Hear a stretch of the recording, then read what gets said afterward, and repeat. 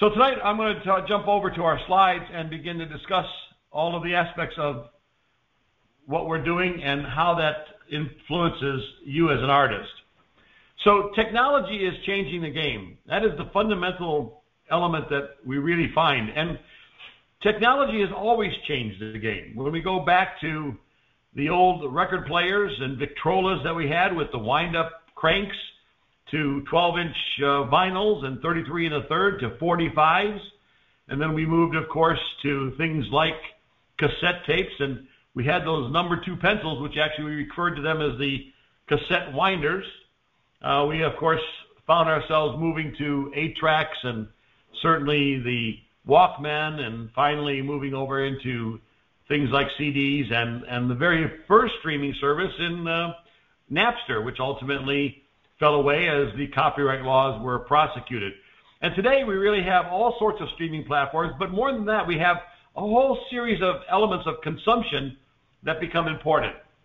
So what are we going to talk about tonight? Well, we're going to talk about the industry at large. You know, what's happening? What's driving some of those changes? And how does that influence you as an artist?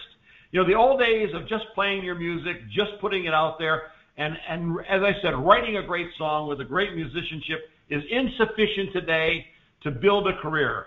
And it's why so many artists, because of the competition, because frankly the market itself, so many artists have their day jobs and then their art is presented in the evening. But there is the opportunity to make a living at this. But you have to understand both the technological changes that are occurring and ultimately who your fans are. And then finally, how do you monetize your specific capabilities in your music? We'll look at those changes in the context of what your expectations have typically been. And I've talked to a lot of artists now. I've spent hours and hours as I've onboarded people, talked through some of the issues on our own technology that we're supplying. And the, the feedback and the sense I get from a lot of artists is, you know, we want to have fun. We want to make music. We want to present ourselves. We want to earn a living at this, but it's more difficult than we thought it was. and certainly it is even more difficult given the market changes that are occurring. So I'm going to provide some of these key insights into the technologies, but I'm also going to talk to the market at large. And then really the idea of how a lot of artists today are independent, going it alone, so to speak. Those who are using independent small labels to help them. And of course, the the very significant few that ultimately are able to actually be brought on board by a large label like Columbia or Universal or others. And as we see that that is a certainly rarefied space uh, today. So what are some of the industry trends in 2022? Well, the media and entertainment really saw these continued changes, and most importantly, a lot of that was driven by COVID, right? We saw the technology progress, progress during those uh, last almost two years of shutdown. We eliminated a great deal of live performance. Streaming became a critical element. People were struggling perhaps with doing live streams on Facebook or attempting to use some of the other technologies. There were generational behaviors that were evolving. We saw changes in how the older people who consume technology, people like myself and music generally, have moved away from some of those traditional sense, traditional ways in which we consume music to the younger folks who today basically, just as they're flipping through a dating app, will flip through singles. The idea of releasing an album, as it certainly was traditional in my in my day, you would listen to it from the front to the back. In fact, in Cleveland, Ohio, where I grew up, we had one of the very first FM stations, WMMS, which when an album was played, was played in its entirety, both front and back. And the idea was to give you a sense of that entire artistry. And of course, you all recall opening those vinyl sleeves and reading the specific uh, literature and or the the, the actual uh, uh, detail around the song, who the artists were, who wrote it, and in fact the lyrics themselves. Today we have things like lyric videos. Today we have much more content being presented. And amongst all this COVID-19 surge, a lot of people became very concerned. Digital media became more important. People had their face down in their phones. They were using their computers more effectively. We had entirely new technologies evolve with the likes of Zoom and certainly Microsoft meetings and many, many others who heretofore were not used as extensively as they are today. And not only do we see that accelerating change in the way we communicated with one another, but then we also found that the various consumers' behaviors also changed as we saw trends occur in the industry generally, and more importantly, as we saw the consumer of specific content, that is music, also became the purveyor of that content. We'll talk about that as well. And then lastly, there's this whole idea of socioeconomic changes. What occurred and what is occurring relative to the younger users of music, the younger consumers? And the question the artist has to say is just as we have a, a finite resource of money, the consumer of, of games, of music, of other media has a finite capability of time. And therefore, the artist today not only has to answer the question of, is my music good? Is my song good? Am I doing the right thing by distribution? But more importantly, why? Why should that consumer give me time, time that they have of their budget to listen to me? So we'll talk more about that as well. Deloitte Consulting talks about five major trends I'm going to talk briefly about. Streaming video industry is maturing, and we're seeing a lot of that. Iron Gate Records has done a deal. We're actually using uh, the folks of Restream.io. They have a very compelling value proposition. Not only is it multi-platform streaming, but multi-platform uh, communications for messaging, etc. It also has the capability, for instance, to provide a centralized uh, studio console that can allow artists or other users of the technology to be remote and therefore appear to be a single show. We're seeing that the metrics of the industry are also maturing. So they talk a lot about how these business models evolving and in-person entertainment, of course, which heretofore had gone away during the uh, impact of COVID, now are, are beginning to change and venues are beginning to open, but they're opening with other restrictions.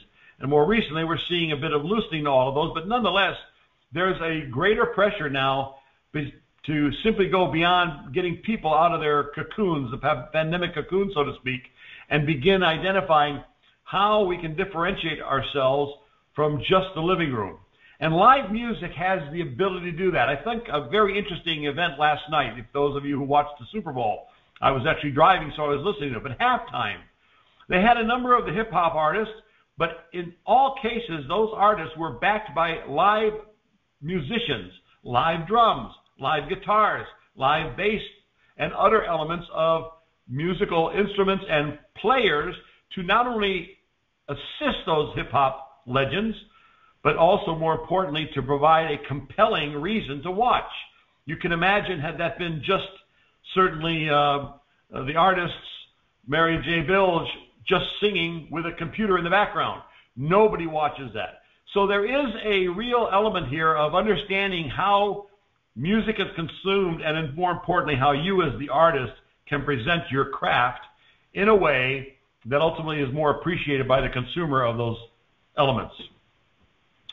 Social media, very interesting, is is moving beyond the traditional Facebook now meta, the metaverse, right?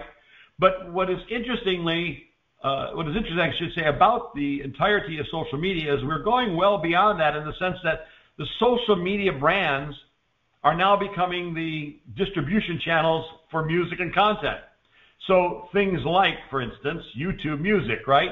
As as as Google moved away from Google Play, integrating the elements of video and the former content related to YouTube exclusively now presents the music itself. We're seeing the next generation of acquisition of everything from retail shopping to distribution occur. Interestingly enough, and one of the things we're going to be adding in our services is the impact of NFTs and bringing more uh, scarcity to elements of creation that can be bought and sold, uh, that can be monetized. Uh, of course, we're seeing a lot more digital product innovation. Uh, the creators, in particular, are realizing that not only can they use the artist's songs, as in TikTok, for instance, but they create an entire new element around those songs. So the consumer now becomes the content creator. And in addition, we're seeing a larger realization of how monetization occurs today. More importantly, things like blockchain technology and cryptocurrency. We're seeing alternative ways in which trades occur. A good example, of course, is the fact that Bitcoin and some of the other cryptocurrencies are being bought and sold in the market no longer as strict investments, but are in fact being used to buy and sell various elements within the web and the decentralized web in particular. So we have to consider all of these elements as we go forward as an artist, and in fact, how these demographic changes and financial changes and finally technology changes are impacting what heretofore was music, songs, vocals, and instruments. Now, streaming still drives the music, of course. We know that because, as I said, 60,000 new songs a day on Spotify alone.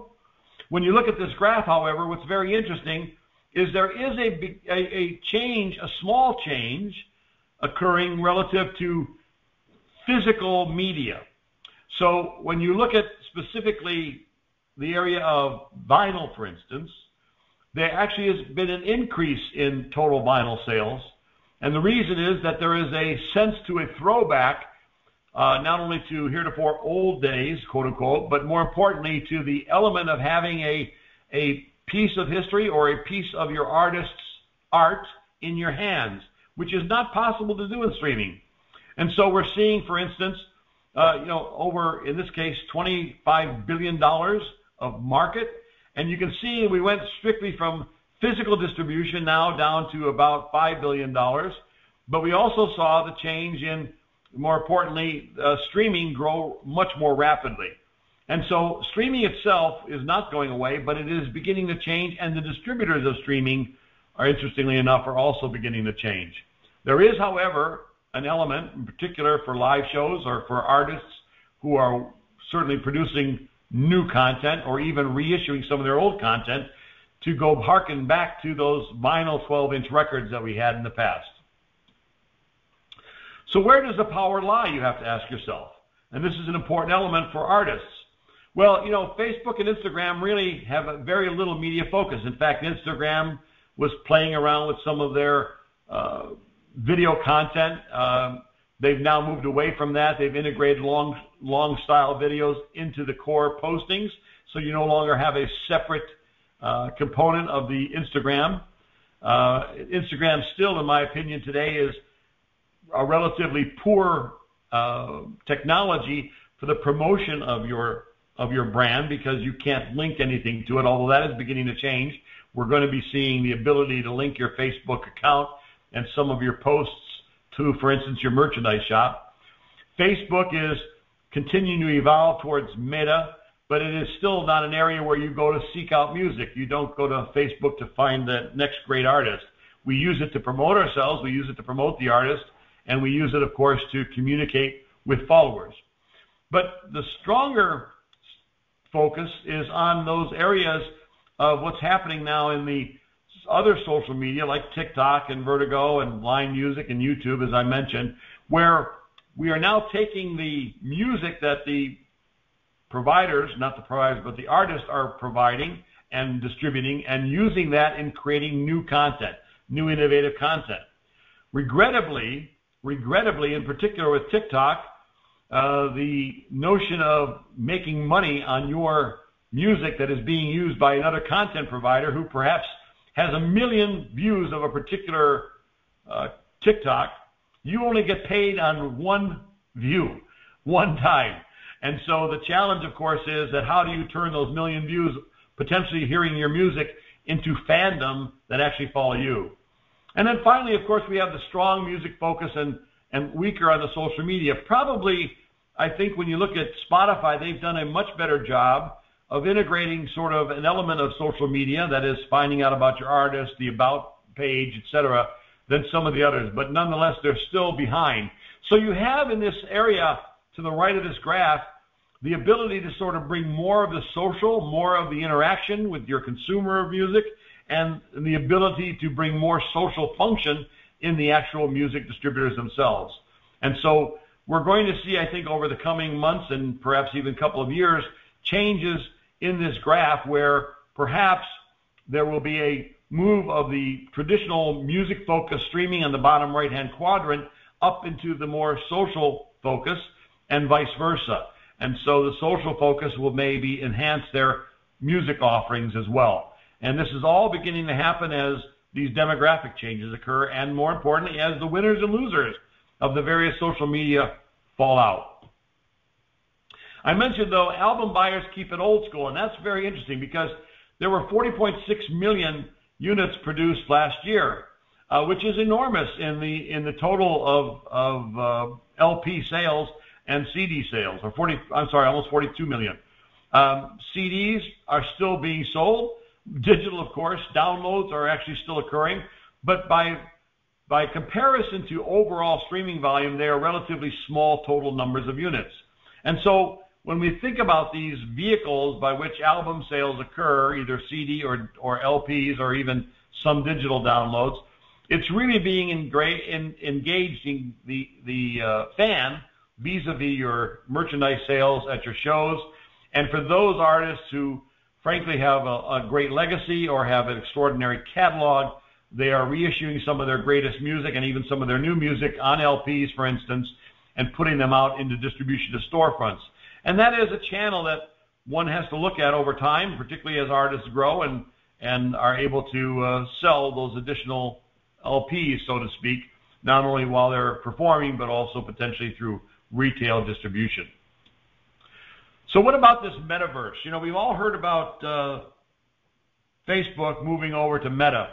And Zuckerberg tells us all about the metaverse and how we're all going to be living virtually and how we're all going to have glasses on our head. Well, the truth of the matter is that there's a lot of investment going on, but there's not a lot of adoption.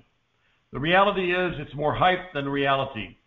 And I think at the end of the day, while the metaverse is a interesting concept, there is still the element of tethering yourself to a computer or another product, and ultimately, how is the content being created that quote unquote the metaverse provides? I will also say that the metaverse is still virtual. And so one continues to win out with the actual live performance over the virtual performance. Now, those lines over time will blur, and I'm sure you've all read about some of these uh, scientists who suggest that we're already living in a matrix, that in fact mankind is just a computer program. I don't happen to believe that myself. However, I think creators no longer see streaming as the endpoint. And this is an, a very, very critical idea that as you begin to build out your capabilities as an artist, it's not just about producing the song. It's about managing the entire interaction across this technology architecture we're building in the various social media components, certainly in the way music's distributed, as I mentioned, and the way content is created and content is consumed. And so we're going to see some change in the way not only music gets monetized, but the way ultimately it emerges alongside streaming. And I think the key here is rights versus monetization. So in other words, how does big tech drive a greater share of revenue today? Uh, and how are the small time creators competing against big tech? Big tech isn't always the answer. And we're seeing that where today, TikTok, for instance, actually has more views than Google. It is a larger uh, number of eyeballs per day than any of the other legacy big tech creators. So there is the opportunity for disruption. And by integrating what you're doing in a broader set of technologies, you potentially can prepare yourself for those changes that ultimately will continue and come further. Now, on a macro level, very interestingly, we see these fintech startups like Square, for instance, having purchased Tidal. Uh, Tidal, of course, is the uh, startup uh, streaming company that was begun by Jay-Z and Beyonce. And you ask yourself, why does a financial services company like Square decide to buy a music streaming company? Well, the actual answer may be in the sense that not only does Square provide financial transactions, but they provide financial transactions at scale and they have an enormous captured market of users and user data that they can begin to mine and present other offerings to, music being one of those. So while they are monetizing that content, vis-a-vis understanding who their users are of the traditional financial services element of Square, they've now begun to expand their service offering, and this is one of those changes that we may see more of. In fact, while it's relatively a nascent initiative and new, the reality is M&A activity uh, is still going on and will probably accelerate. You you certainly saw the fact that in the past year, for instance, we've seen a lot of uh, sales of of music catalogs, for instance, um, several hundred million dollars. We've seen uh, many many bands who have sold all of their catalog to a major distributor and ultimately are now integrating that into broader services around things like distribution into movies, commercials, and other elements, while the artist pockets 100, 200, or 300 million dollars for their life work. Uh, and this is why also one of the things that I tell my artists all the time, which is critically important, is that you need to own your content. You need to own your your absolute masters. You need to own your copyrights, you and or your folks that you collaborate with in writing. Because ultimately, in the long term, that may, and I use the word may, if it's good enough, may be worth much more than the money you make over uh, distribution alone. Certainly, even perhaps more than you make through concerts or performance. Because ultimately, the acquisition role that we're talking about here is billions of dollars. And I think, as I mentioned, so as we see these changes in the social media uh, as well as in the financial services side, there's been changes in the fan. So when we look at the left side of this uh, graphic, the traditional mode of, of development was, you know, I'm going to write a song, I'm going to record my song, and then I'm going to sell my song. And so that's great. It was the old model, and ultimately we saw things begin to change as what we talk about is uh, lean in.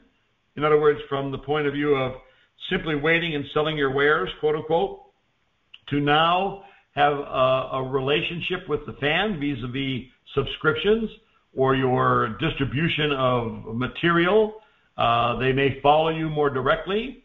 They ultimately are using other technologies and, and live streaming. And uh, they also will buy merchandise while they're online watching an event. Live betting is a good example. We saw here again with the advent of this recent uh, Super Bowl, one of the most enormous growth in live online betting that they've ever seen in the history. And this again is one other element that is vying for the consumer's attention. And so as we go forward to the idea of lean out, what do we mean by that? Well, specifically, the fan now is actually making the content. So anytime you go to the uh, TikTok, you see many, many pieces of music being used. I will also tell you that Iron Gate Records, in its association with uh, Intercept and, of course, Universal Music Group, any of the distribution that occurs through our channel ultimately is whitelisted on TikTok and can be used by fans to create content. And of course, in the end, while you don't get paid uh, anything significant on that, much like you get paid very little on streaming, your music, however, can be distributed to potentially thousands or hundreds of thousands of new fans. But the other ele- element to watch here is that as that content gets presented, presented to the consumer, the consumer themselves is making decisions every moment of the day about what songs they're going to listen to, what shows they're going to watch, what component of perhaps sports they're going to participate in, what gaming they're going to create or be part of, how they're going to interact across that virtual social relationship in their various uh, uh, online uh, accounts, and then ultimately how they're going to purchase everything from food to to that media to merchandise. And so the artist now has to think about the consumer in a broader sense that music specifically and art, the artist's content and more importantly the artist's presentation of that content vis-a-vis um, performances has to vie for the amount of time necessary for that consumer to pay attention. So it's no longer, as I said, good enough just to write a great song. Um, a good example in the country music was uh, certainly um, a, a few years ago when we saw uh, country music stars move more towards the pop genre, right? Uh, Garth Brooks was an example of adding a show. He became the showman within country music. It wasn't simply getting up on stage and performing, but it was an entirety of a show that made him the premier performer for many, many years. And so, as a particular uh, user, under, a particular performer, understanding the implications of these changes is important, and it is going to become more complex, not less complex. And so, when I talk about the idea of you're vying for the time budget of that consumer. You need to, of course, at a minimum, put out great music. You need to distribute all your music to all the channels you possibly can. And then you need to perform your music in a manner that becomes compelling to the consumer. And this is also important because at times we see, and I'm certain those of you have played, I've certainly watched this occur in, in some of the bookings I've done. We see that the musician simply becomes Muzak.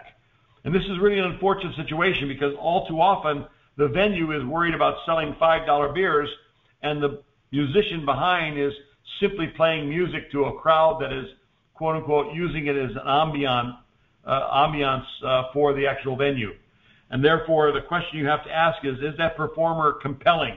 Is that performer engaging? Is that performer presenting something that that consumer who is at that moment in time perhaps enjoying their friends, enjoying that beer, will they pay attention? And so as a performer, you always have to ask that question, what can I do to improve not only my my music and my art, but also how do I present that to my consumers? And of course, you know, I talked about this idea of legacy of uh, music to the digital model. You know, traditionally studios, and, and this is still the case in some artists' mind, we want to go to this great studio. We want to uh, ultimately record at this studio because it's got a history of recording certain artists that we've heard about. But the technology has changed so rapidly, and because distribution now happens through a handful of channels, that the development of what I call perfection should not, or should, I should say, the development of good should not be inhibited by perfection. Uh, in other words, perfection not should not be the enemy of good. And there is sufficient capabilities in technology, sufficient capabilities in terms of recording that most artists can get a very good product before distribution. It relies on, of course, the editing, the mixing, and the mastering of that music before distribution happens. The other thing that was perhaps legacy approach, people would generate an entire album and release the album. And for many, many years, that was the standard. But today, when you release that album, it goes out as one hit on Spotify.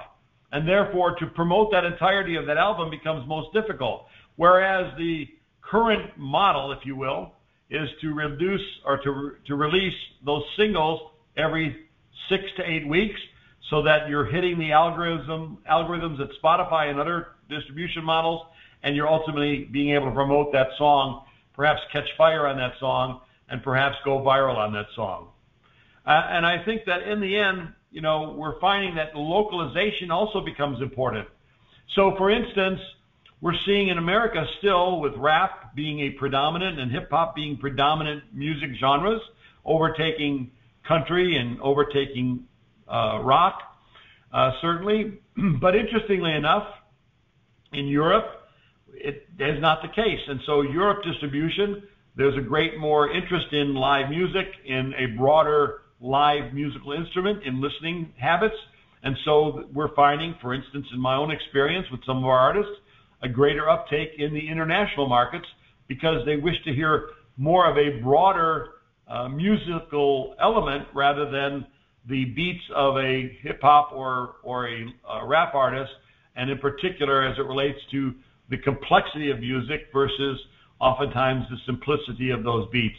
And then finally, you have, in fact, even the localization. We see K-pop in Korea, for instance, becoming very popular, or Latin music, and even Indian hip hop, where it has a element of the uh, social demographic related to that music, and so you have to consider that as well. And finally, I think at the end of the day here, it's really about being a lean artist. You know, the traditional notion that he completes, releases, and licenses the music, and then somebody else turns that musical content to drive engagement. And a lot of us saw that in the early stages of of uh, TikTok, right? You would see a particular song that was playing in the background. Oftentimes, you would see somebody dancing to it or doing some dance moves. Today, you're seeing it as background music as well. And and oftentimes, you would see perhaps a particular song go viral. Well, that's also something that's changing. Today, TikTok has over a billion users, over 1 billion users. And so the idea of virality or, or a viral nature of music or a viral nature of a particular TikTok is diminished markedly because the, the entirety of the TikTok uh, population is so much larger. And while viral songs still do occur, they occur at much less frequency, or viral TikToks, I should say, they occur at much less frequency than before. And that's really because of the fact that we're now seeing such a large population of users, and that large population of users has so much to consume or so much to decide. And using those algorithms, for instance, in TikTok, about what you like or what you don't like automatically begins to limit the things that you're presented with. And so that's again, is an area where I've heard people talk. You know, I want, a, I want a viral TikTok. Well, the reality is you're probably not going to get one anymore, and unless it's something quite unique. And one of the things you also see on TikTok in particular is a lot of repetition, right? You see a lot of people doing the same thing over and over again. It's when somebody that does something different, when somebody creates a different idea, that it becomes more interesting. And of course, YouTube as the quote unquote channel to monetize has itself begun to change. Um, the reality is that it's not good enough to just simply have a, a particular uh, music video out there, although music videos are still popular. But the challenge is how do you get people to watch it? Your channel has to create something new. Your channel has to be engaging on a different level. You don't simply put up a piece of music video and say, come watch me. There is other reasons, and so there is a personalization that has to occur between the artist the uh, and the consumer. And as I said, the consumer is becoming the creator now. So whether it's gamers, how many of you have seen certainly online gaming, just people watching? There are entire communities watching a gamer record his or her gaming and presenting it to a myriad people who want to see that gamer who happens to have a particular talent for Fortnite or some other uh, game and is able to do really well with that and then simply records their playing of the game. We have a whole group of consumers who are now watching and not participating. And so why are they watching? Well, because there's so much compelling content out there. And so just as we saw in the Super Bowl with millions of people watching the game between two teams, it's no different in the virtual world. Millions of people watching somebody that they're interested in, some component of music, some component of gaming, some component of, of uh, video creation, all of which, by the way, is competing for that consumer's eyeballs. And in the early days of the web, we used to talk about gaining eyeballs on a website. Today, you're now trying to get eyes and ears and creativity using all of that content to generate sort of that other interest. And I think that is extremely interesting as we go forward here 2022 and beyond. As I mentioned, virality is losing its impact. As I mentioned, there's over a billion users now, and 20% of consumers use TikTok weekly. And in fact, TikTok overall um, is, you know, indexed for everything listening to Spotify. It's beating many of the other uh, platforms that are out there. But the media landscape is truly saturated. And we go back to that very early comment I made about 60,000 music uh, releases alone on Spotify each and every single day. And so, what does it mean to be viral or what does it mean to be mainstream tends to lose its impact. And it's frustrating for an artist. It's certainly frustrating for me as a label to think about how do I help the artist uh, overcome that inertia of the market? How do I help the artist begin to evolve a marketing plan that allows them to place bets judiciously. Remember, as an artist, oftentimes you're spending one, two, or three thousand dollars to produce a particular song, depending on your live music and overdubs and time and space for recording as well as editing, mix, and mastering, and then finally distributing it. And at the same time, I find that some artists do all that work, throw it out via some distribution arm within a week, and expect something magical to happen. That is simply not the case and simply will not occur anymore. And so when you con- contemplate your music, when you contemplate how you promote that music, one still has to think about ultimately what the economic investment is over time. And this is why, going back to my earlier comment, it is the ability to be good enough, but not perfect, and to be able to integrate a marketing plan within the context of your release. And so the strategy, the strategy becomes an all of the above. We've heard that, I think, during the last uh, 2020 election, right? Building out our energy reserves is really an all of the above strategy. And just as we saw the move from eight tracks to cassettes to CDs to the iPod and all the way through to Spotify, technology is going to continue to change. And so the artists need that help. And when you integrate into an independent label that has a good technology backbone, and many of them do not, because I also discovered in my research and in working with other labels that many, many people, frankly, are not interested in technology. They are either fearful of it or they don't want to learn it. But if you think about this, in the case of uh, some of the technology we use, they have literally tens of thousands of artists and or other users in that platform. And they are taking advantage of all that content and all that understanding and all that perspective across all those various artists to build out the next iteration of that infrastructure, to build out the next iteration of that functionality. And what that means is you as an artist by aligning yourself with a technology driven label can be more efficient ultimately in distribution, perhaps have greater opportunity for success, but more importantly, to recoup that which you invest in your own music and time, to actually monetize that and to be able to make money. We, we have a case study on our website at Iron Gate Records that talks about one particular uh, uh, artist, Ikapu, who uh, spent approximately $1,800, and through his streams and through uh, a loan, he was able to recoup over $3,000 against that initial spend. But more importantly, he generated nearly, you know, a million new uh, Instagram followers, over a million new contacts in his uh, Facebook uh, connections, and lastly, over a million uh, plays of his of his uh, music.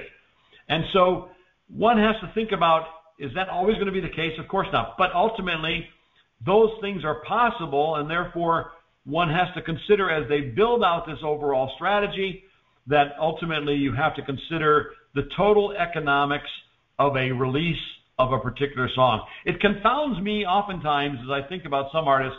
They'll want to release that song a week after getting it produced, and, and it sounds great, but they do nothing to actually create an entire social media strategy. Something, by the way, that takes time, but that they could do for free, but do nothing around that because they can't either be bothered or they don't like to do it.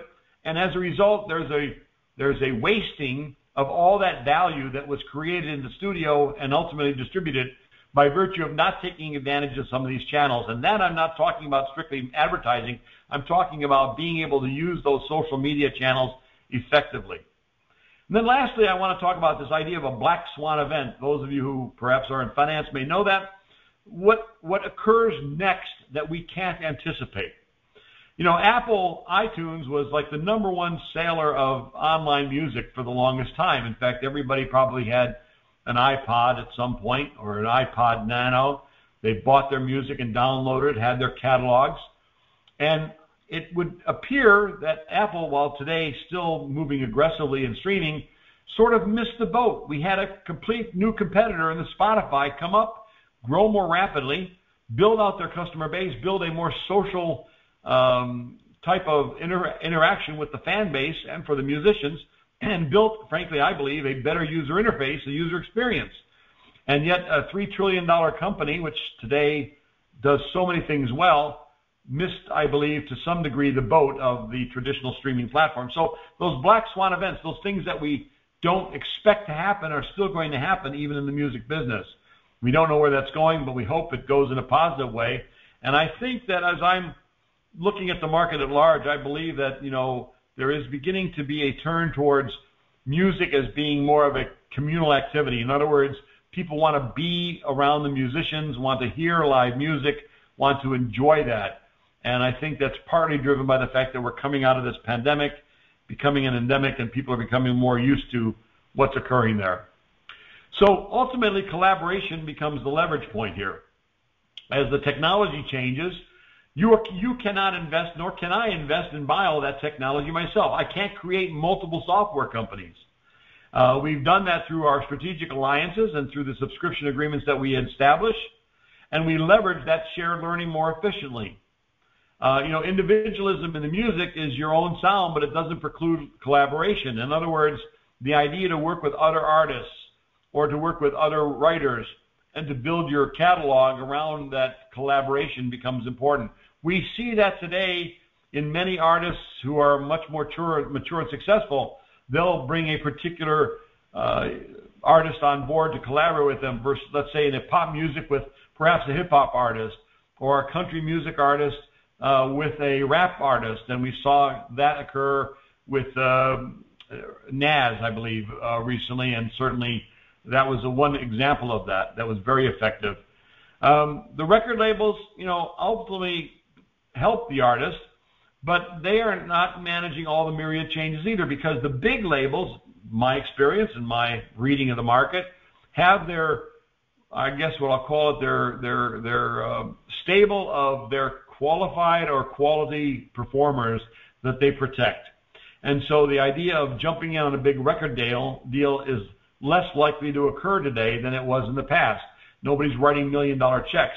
And if they are, it's because you've already got the social media in place, you've already got the fans in place, you've already got the streaming in place, and you've already been out there performing your music regularly to a large fan base. And so you are already there when they come to you and say, come on board. And when you come on board, all too often, if you don't have that next hit, you're sidelined. Or they do a deal where they own your catalog, even potentially some of your preceding catalog. So there is a much more important element here that as artists, to find yourself to collaborate with the right independent label or other artists, to own your content, to own your intellectual property, to maintain that throughout your career. And you can do that today at a relatively low cost while also taking advantage of many of these trends I've been describing.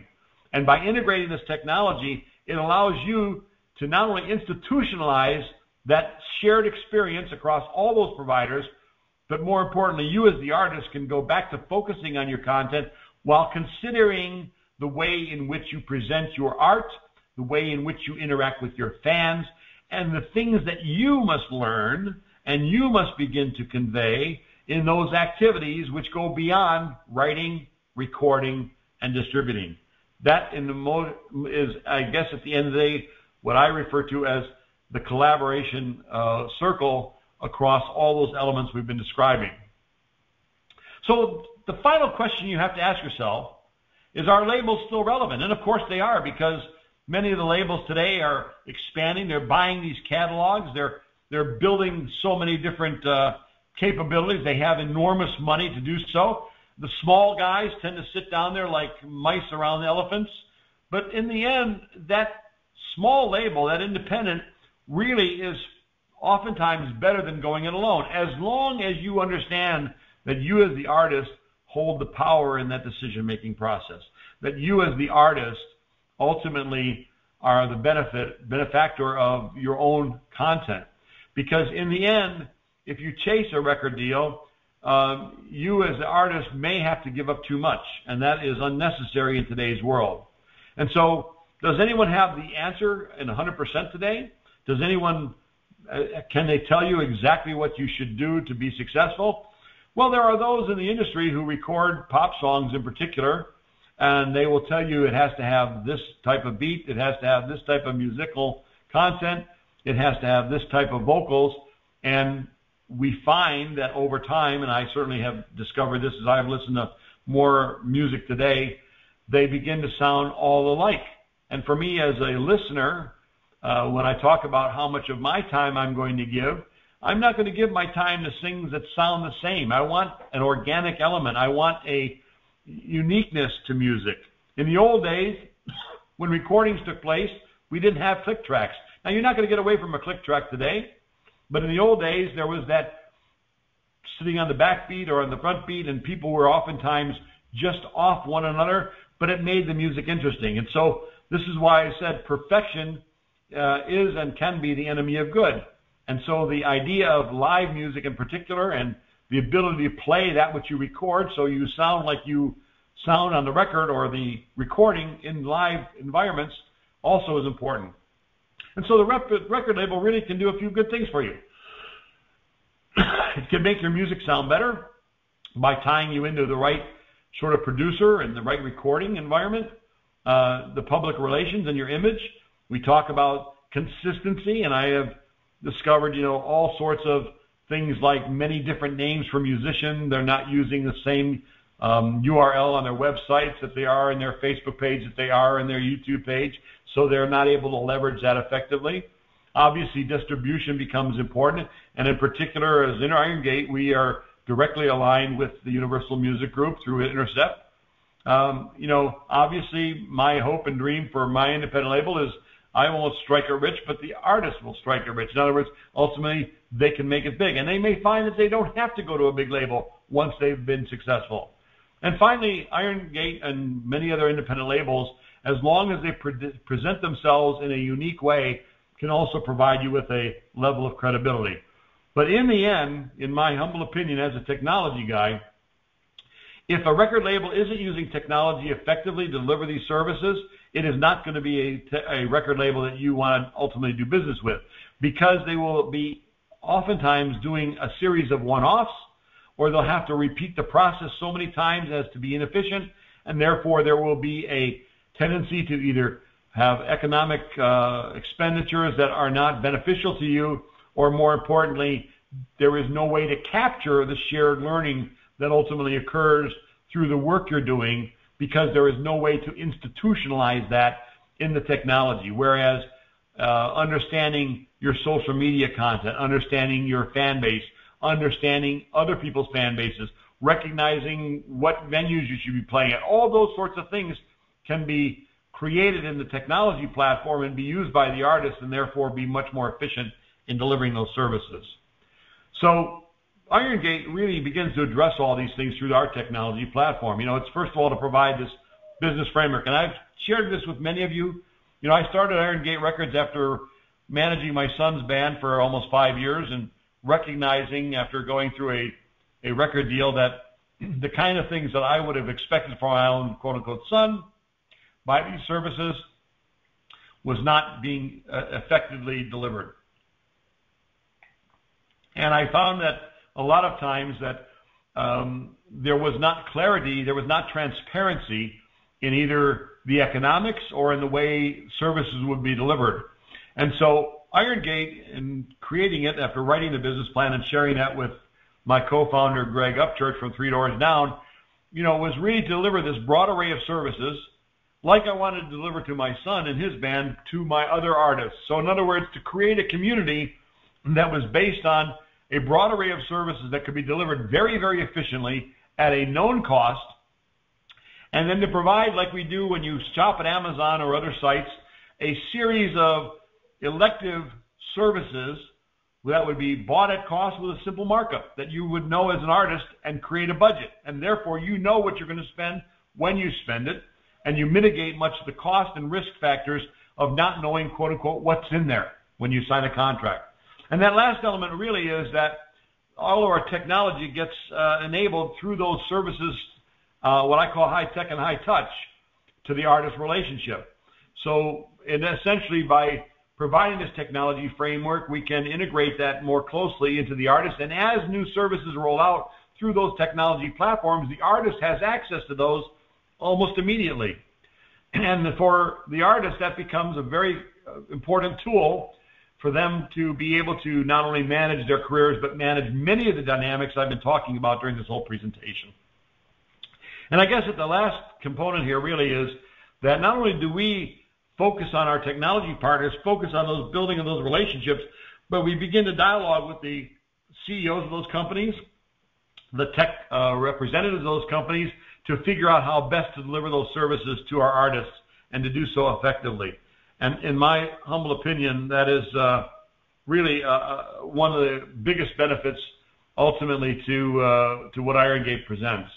And we do all that on basically a 30-day out contract. In other words, we don't need to be married to you. We just want to work with you. And if the artist isn't happy or we're not happy, we can go our separate ways. Of course, ultimately you, you lose access to technology. That's for sure. But in the end, you still own all of your content. You own your masters. You own your documents. And anything that you co-write with us, obviously, is a much more traditional distribution contract.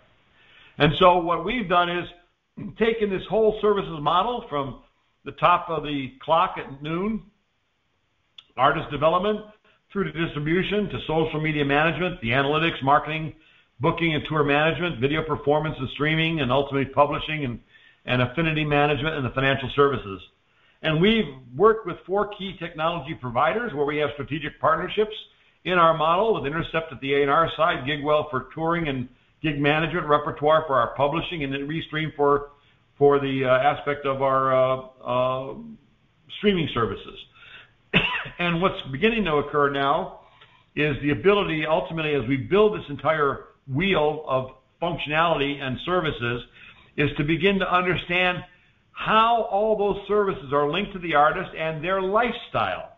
In other words, the affinity management really becomes in the in the Instagram world. It's talking about influencers. How do you get paid for presenting perhaps you, to your fan base uh, a particular clothing product or a particular music product or a lifestyle product so that you can ultimately earn money on the basis of your broad reach and your influence as an artist. And that is the sort of holy grail of creating what I like to say is that mailbox money beyond what you do in the core competency of, of distribution, of your recording and, and your music itself, your performance of your music, your publishing itself, and and of course the way you present your music.